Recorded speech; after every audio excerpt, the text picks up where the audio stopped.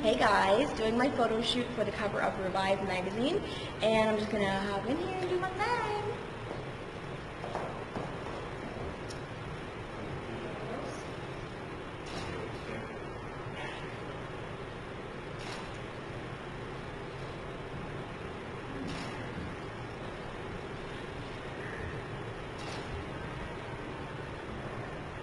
Sometimes you do your hair during